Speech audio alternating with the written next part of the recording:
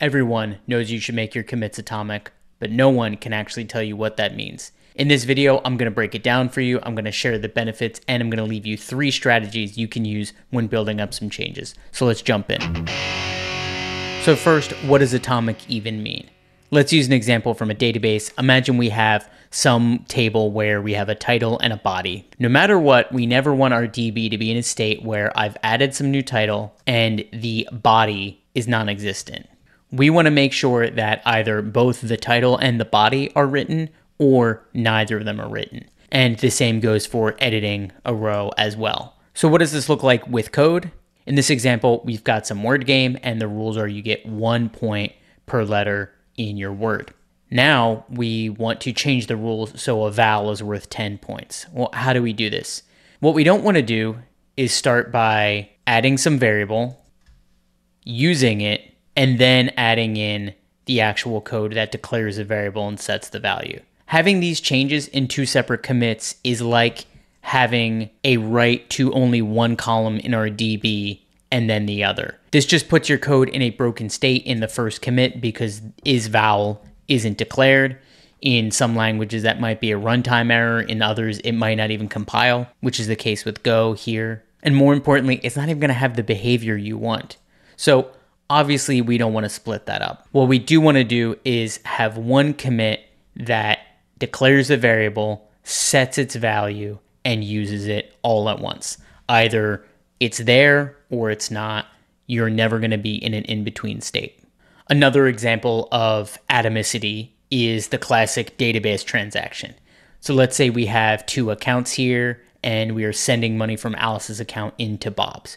We never want to be in a state where we've removed money from Alice's account without that money being credited to Bob. And we never want to be in a state where we've credited the money to Bob, but we didn't actually deduct it from Alice's account. We either want both of these rows written or neither of them. And what this looks like in code is changing a function without also changing its call site and any expectations around it.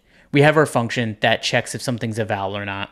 And now we're told we want to include y if it's the first letter. We say, okay, easy enough. What we don't want to do is first commit changes to this function, changing the function signature and the behavior, then committing some change to its call site, and then lastly, updating the test to work with its new behavior. What we want is all of these changes to happen all at once. Some other examples of this would be changing the return type of a function without updating its call site, or changing the behavior of some code without also committing the changes to the tests. This brings us to what I think of as the golden rule of Git. It's that every commit should compile and run and pass any tests or other CI that you have. And what we get from this is code that you can check out at any point in the code base and interact with. Will all the functionality be there? No. But you could either run some functions, write some other tests, interact with it in some way.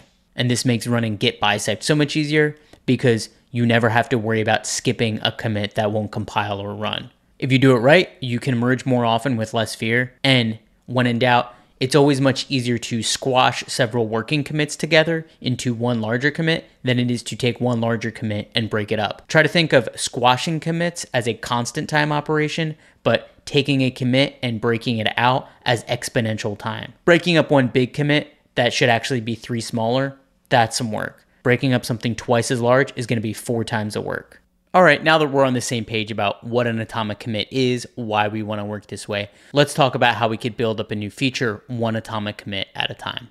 I like to think about this as bridging some kind of gap. So on one side, you're here, and on the other side is the functionality you're trying to get to. So how do we get there? One strategy is to work from the far side back to you, connecting it at the end. So let's say we have a feature that we want to add to our app. The first step might be a commit that adds some code to read from the database.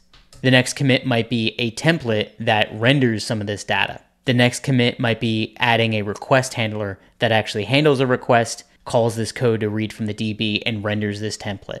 And lastly, we connect everything by adding an entry into the router. And now we can go from one side across to the other. Another approach you can take is starting on the near side and building your bridge out. So in this case, we start by adding a real entry to the router but our request handler is actually not going to do anything and it's going to stop the execution of code here. You can imagine this as a barricade and a bridge out sign.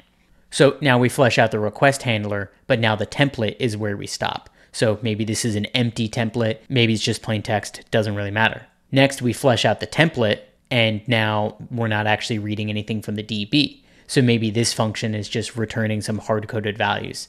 And lastly, we add real code to read from the DB, removing that last wall, and we can go all the way across. But one other way to think about this is imagine you are throwing a rope across the gap, and then you're going to flesh it out as we go. So we start by adding a real entry to the router, but maybe the request handler, the template, and the code that reads from the DB are all super thin. Maybe this always returns an empty list, the template is empty, and the request handler doesn't really do much.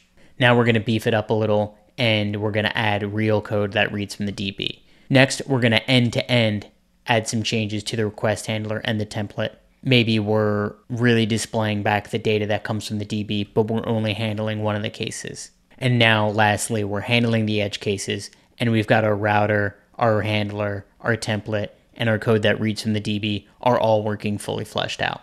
So there you have it. Hopefully now you have a good understanding of what it actually means to have atomic commits, why you want your branches to be built up this way, and a few different ways to think about building up a set of changes. Peace.